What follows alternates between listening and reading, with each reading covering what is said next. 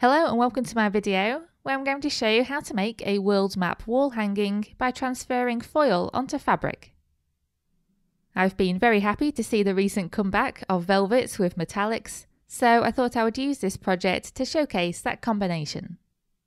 In order to follow along, you're going to need some deco foil hot melt adhesive, some deco foil gold foil transfer sheets, some velvet or other smooth non-stretch fabric, an iron and an ironing board, some baking or parchment paper, some small scissors and some fabric scissors or a rotary cutter and cutting mat, carbon paper and a pencil, masking tape, a printer and a sheet of A4 paper, a magnetic hanger or other method of display, and a ruler.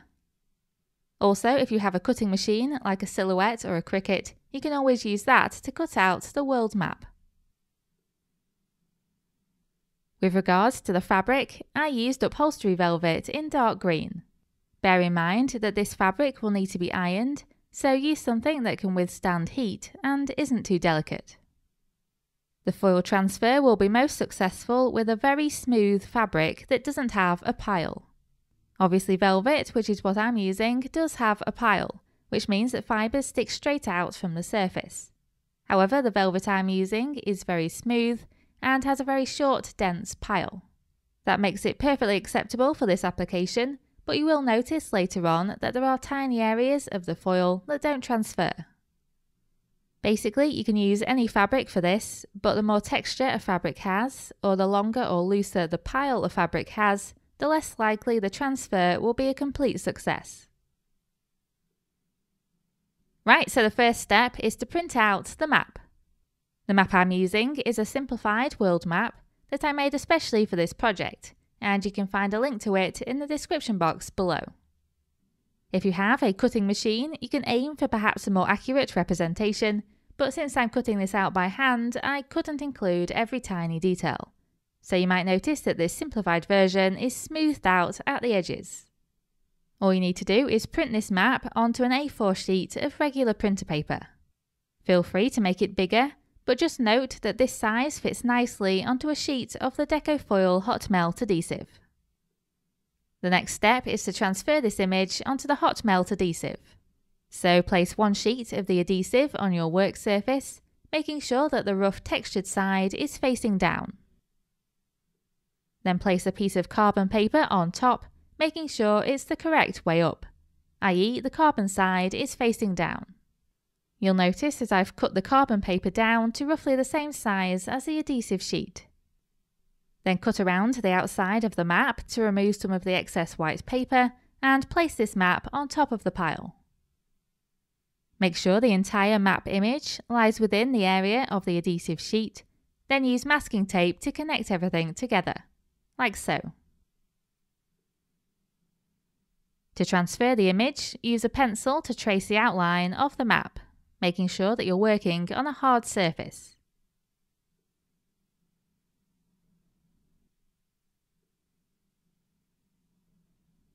Once completed, remove the tape, map and carbon paper and you'll be left with the map outline on the smooth side of the adhesive. Like so. Then the next step is to cut out the pieces of the map. This can be a bit fiddly, but just make sure you use small scissors.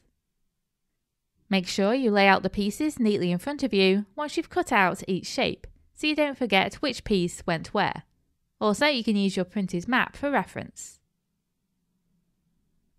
Once all of the pieces have been cut out, arrange them how you want them on your piece of fabric, making sure your fabric is now on your ironing board. Make sure that the textured side of the pieces is facing down onto the fabric. Next, you need to carefully place a piece of baking or parchment paper over the top, making sure the shapes stay in place. If your paper has folds in it, just make sure you iron it flat before you begin. Then iron your map for about 30 seconds, making sure your iron is on medium heat with no steam. Then make sure to leave the fabric to cool completely. Then remove the paper backing on each of the map shapes.